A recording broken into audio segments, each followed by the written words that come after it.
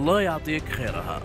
مبادرة حظيت برعاية كريمة من سيد خادم الحرمين الشريفين الملك سلمان بن عبد العزيز حفظه الله ورعاه.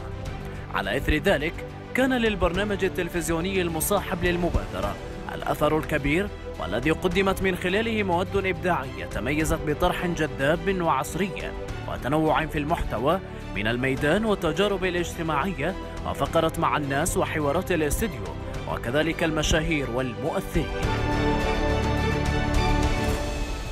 كل تلك المواد ساهمت في جذب المشاهدين وكان السبب في ذلك كله الإبداع والتميز في العرض والمحتوى القيم الذي يعرضه البرنامج الذي ساهم كثيرا في رفع الوعي لدى الجمهور حول مفهوم القيادة الآمنة.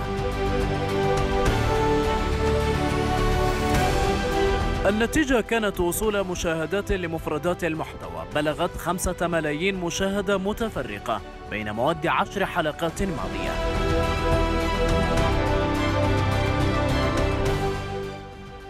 ساهمت منصات النشر وتحديدا حساب المرور السعودي على تويتر وصحيفة سبق والمنصة الأهم قناة الإخبارية وغيرها من الصحف وحسابات التواصل الاجتماعي للمشاهير في الوصول لهذا النجاح المبهر. ردود وأفعال من المشاهير والمؤثرين مع هذا الحدث. كان لها الأثر الكبير على طاقم فريق العمل. الله يعطيك خير. هو برنامج سعودي توعوي حائز على أفضل جائزة برنامج خليجي. هي ثلاث أشياء. اربط حزامك لا تتهور التزم بالسرعة المحددة لا تلهب جوالك. والله يعطيك خير. أحب هذه المناسبة. آه، أهني إخواني في برنامج. الله يعطيك خيرها على قناة الإخبارية. وصولهم لخمسة مليون مشاهدة. الله يعطيك خيرها. خمسة ملايين مشاهدة. ألف مبروك لفريق العمل هذا الجهد الجبار وهذه الحلقات الجميلة ومبادرة أكثر من رائعة. إن شاء الله أنه نستفيد منها دوم وهي مبادرة كان اسمها يعطيك خيرها. غيرها آه، خادم الحرمين الشريفين الملك سلمان إلى الله يعطيك خيرها. خمسة ملايين مشاهدة لعشر حلقات. الله يعطيكم خيرها.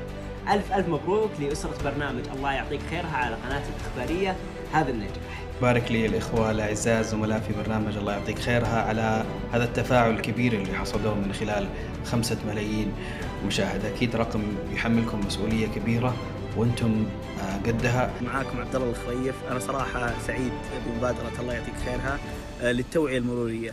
برنامج ناجح الحمد لله وصل إلى 5 مليون آه، مشاهدة. تستاهلون. وإن شاء الله يا رب يعني مزيد من النجاحات. وأنا دائما داعم لهذه المبادرة وفي الختام وباسم طاقم البرنامج يحق لنا أن نفخر بكل من منحنا جزءا من وقته لمشاهدة البرنامج أو المقاطع المتداولة منه عبر مواقع التواصل فأنتم شركاؤنا في النجاح يا سفراء الرسالة